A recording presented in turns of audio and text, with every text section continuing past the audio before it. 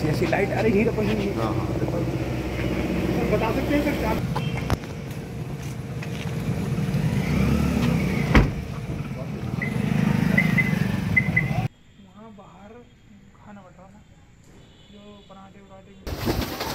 कुछ भी हो सकता है। आप हमारी एज का तो ख्याल रखते हैं? और हमें तो घूमने के लिए भी बहुत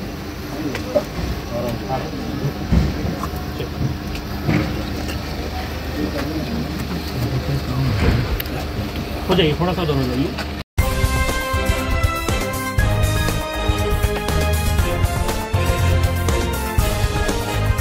आप देख रहे हैं देश लाइव, देश की आवाज़।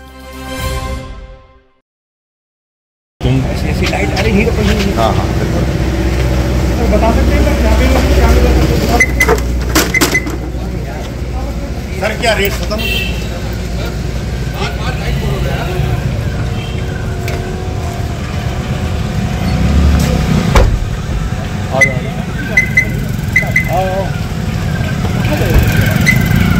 क्या रेट खत्म हो गई है? क्या नहीं मिला इनको? हमारा छः हज़ार रुपये और बीस बीस लाख के करीब।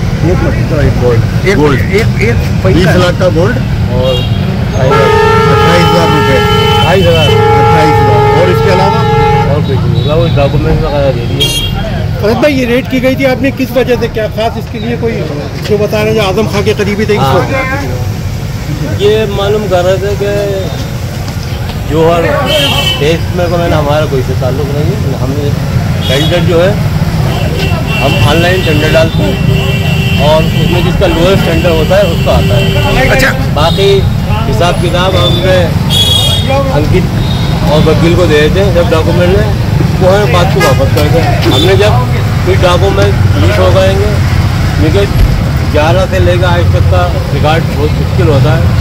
उधर मेरी वाइफ का एक्सपायर हो गई थी कहीं से होता क्योंकि जब मैंने घर से यहाँ सामान शिफ्ट का कुछ मिस हो गया होगी।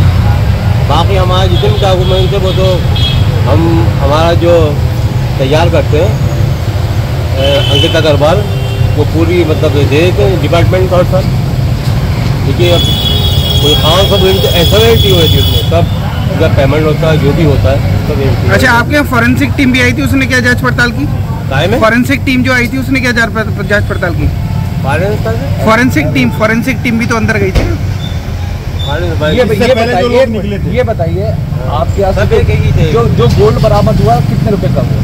बताया तो मैंने बीस लाख अच्छा नगद कितना बरामद हुआ? अट्ठाईस हज़ार इसके अलावा आपसे और क्या पूछताछ करी? कुछ दस्तावेज़ भी आपसे ले गए? दस्तावेज़ आप कुछ ले पाएँगे उसमें कोई किसी के लेन देन था?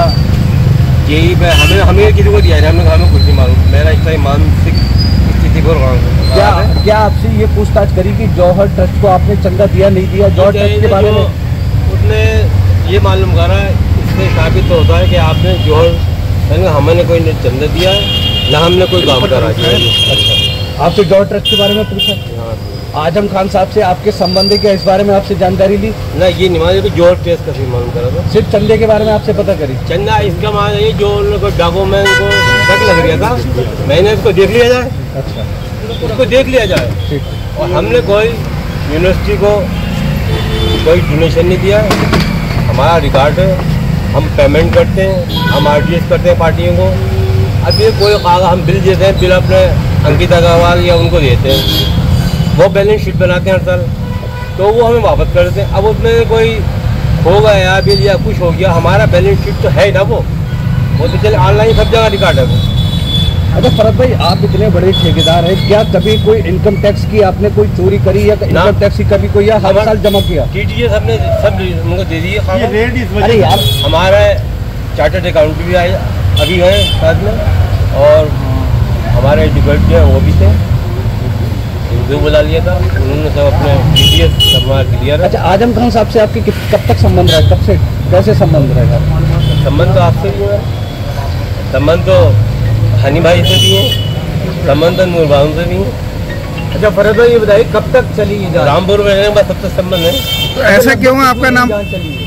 ये कल मैं फजर की नमाज़ पढ़ के आया था तो मैं वॉक करके आया हूँ तो मैं लेट गया था यहाँ पर जो मुझे रात को भी नींद नहीं आती है बारिश का हुआ है।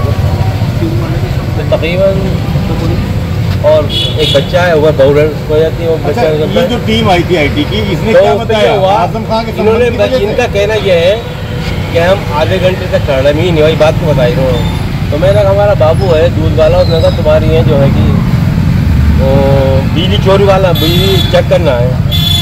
तो मैंने कहा अच्छा मैं उठा उठने के बाद मैं अंदर आ गया। मैंने नहीं बताया क्या है क्या नहीं। तो उसके बाद जब ऊपर गए तो ऊपर मैंने बैठा रहता तो मैंने बैठी थी भी ये कहा कि बिजली बिजली वाले आएँगे चेक करने के लिए। जब तक मुझे नहीं मालूम था कौन है कौन नहीं। अरे आईटी वाले आपके यहाँ लगभग 24 घंटे से ज़्यादा रुकते हैं चौबीस घंटे नहीं ये आए थे समझ लो दस और अब वाली। लगभग 24 घंटे से ज़्यादा होगा गए। तो चौबीस घंटे क्या चौबीस और दस? लगभग चौंतीस घंटे करीब। 34 तो चौंतीस घंटे के बीच में जो भी इन्होंने खाना पिया खाया या चाय वगैरह पी पानी पिया वो सब अपना पिया या आपके यहाँ से पिया? चाय वाय तो हमने खानों के पूछा था कोई भी दुश्मन आए जैसे ये होते अपने अधिकारी हैं इनका क्या कसूर है? इनका कसूर थोड़ी अधिकारी है तो इनका तो आदेश ही में राजीव भाई का काम है। तो इन लोगों ने बाहर से खाया आपके ये खाना इन्होंने नहीं खाया हमारे खाना नहीं मंगाया लेकिन चाय बहुत रिक्वेस्ट करने में चाहिए। कितने लोगों की टीम अंदर थी आपके घर में? भाई कितने लोग तो नहीं में बहुत ही लोग। भरत भाई ये बताइए जिस तरह का छापा पड़ा है एक नंबर के ठेकेदार हैं सब कुछ है आपके सब क्लियरेंस बता रहे हैं। इस छापे को आप क्या मानते हैं? किस तरह की आप राजनीति तो मैंने डॉक्यूमेंट है देखिए बस इनका कहना जो ये है कि आपने जो हम पर्चे या मतलब जो पेमेंट होता है हम जमा करते हैं हर महीने की हिसाब से उसका विवरण हम सब अपने अंकित चार्टेड अकाउंट को देते हैं। वो इसके हिसाब से बैलेंस शीट बनाते हैं। उन्होंने ये कहा हम बैलेंस शीट एक ही साल में बनाते हैं। तो उनसे भी चार्ट उनको भी चार्ट शीट दी है। नहीं इसे आप राजनीति से प्रेरित मानते हैं किस क्या वजह मानते हैं? अगर आप आज़म खाते जुड़े हैं तो या समाजवादी से जुड़े हैं तो इसे किस क्या मानते हैं आप इसे? जुड़े हुए नहीं जुड़े हुए सबसे जुड़े हुए तो सबसे ही है खैर ये ये लखनऊ से कुछ हुआ पता नहीं। लखनऊ है ठीक है। ये रेड किस वजह से हुई है? वो वजह तो बताइए। वजह तो मुझे नहीं पता तो बताई होगी ना इन्होंने? है क्या नहीं? ठीक ठीक है ये तो देखो अधिकारी तो आना है। ठीक है।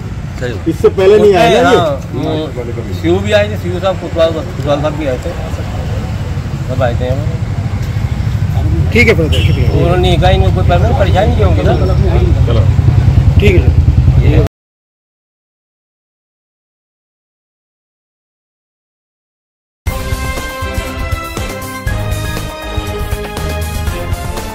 देश और दुनिया की तमाम छोटी और बड़ी खबरों के लिए हमारे चैनल को सब्सक्राइब करना न भूलें और बेल का बटन ज़रूर दबाएँ।